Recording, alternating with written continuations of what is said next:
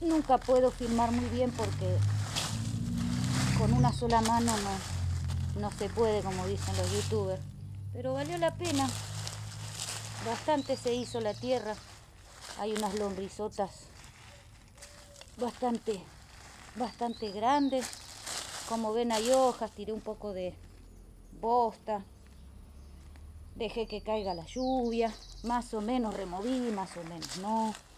Pero bueno, tiene olor a tierra mojada con lluvia. Así que veremos qué sale. Algún que otro plástico que va a ser. Siempre se cuela. Ay, me está faltando el aire con este calor.